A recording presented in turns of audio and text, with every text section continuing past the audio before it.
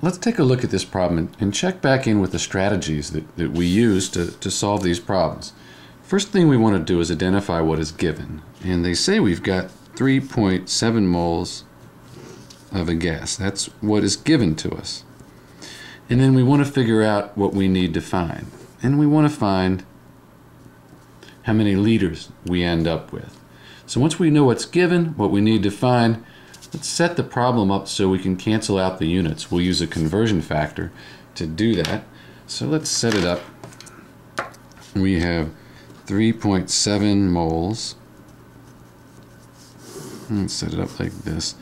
And I want to find liters as my final unit. So if I have moles up here, I better have moles on the bottom. Those will cancel out.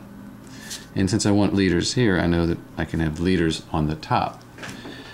Well, the conversion factor we're going to use is that one mole of any gas, so here they just say a general gas, but any gas, occupies 22.4 liters. That's a conversion factor you need to remember. One mole of a gas is um, 22.4 liters.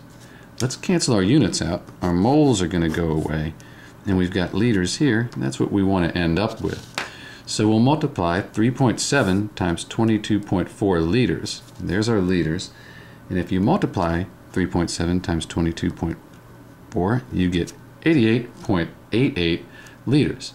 That's your final answer. The, the last step, we've just solved the problem, is to check and see if our answer makes sense. Here, we know that one mole is about 20 liters. So 3.7, say about 4. So if we have 4 moles, that should be about 4 times 20, right around 80. And that seems to work out pretty well. We're close enough that we can be confident in our, in our answer.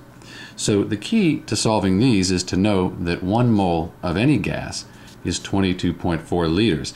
That way you can cross out moles and end up with liters.